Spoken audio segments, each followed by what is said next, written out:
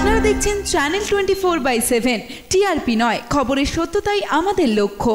দমদম ব্যারাকপুর সাংগঠনিক জেলা আইএনটিটিইউসির পুনর্নির্বাচিত সভাপতি সোমনাথ শ্যাংপে সম্বর্ধনা জানানো হলো খড়দহ রুইয়া তৃণমূল কংগ্রেস কার্যালয়।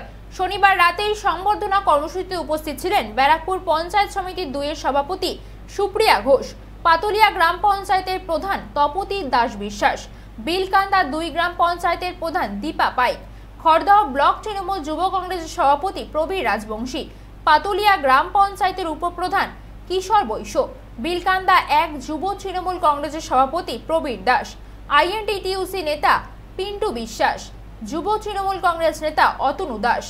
এদিন সংবাদ মাধ্যমের মুখোমুখি হয়ে দমদম ব্যারাকপুর সাংগঠনিক জেলার আইএনটিটিউসি সভাপতি সোমনাথ শ্যাম জানান, তিনি অত্যন্ত খুশি আজ এই সম্বোধনা পেয়ে।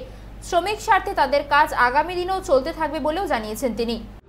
আমি এই পাতলিয়াতে এসে খুব মানে মুগ্ধ যে এখানে এইভাবে সম্বর্ধনা পেলাম। আমাদের যারা এনটিউটিসি যারা সিনিয়র্স আছেন, এখানকার পঞ্চায়েত প্রধানরা আছেন মেম্বার্সরা আছেন, ছাত্ররা আছেন, যুব ভাইরা আছেন, সবাই মিলে যেভাবে সম্বর্ধিত করল, আমি চিরকৃতজ্ঞ থাকব এখানকার প্রত্যেকটি মানুষের প্রতি এবং আগামী দিনে আইনটিউটিসির দায়িত্ব পেয়ে যে যে দায়িত্বগুলো আমার কাছে আসবে, যে কাজকর্মগুলো আসবে, সেগুলো আমি স্বতঃস্ফূর্তভাবেই আমি চেষ্টা করব, সেগুলো পূরণ করার। আমাদের এখানে অনেক ছোট ছোট কলকারখানা আছে। সেখানে এগুলো নিয়ে অনেক রকম সুবিধা অসুবিধা আছে।